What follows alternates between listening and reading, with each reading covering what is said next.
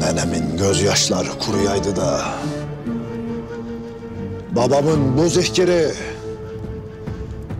Dündar emimin boynuna dar urganı olaydı.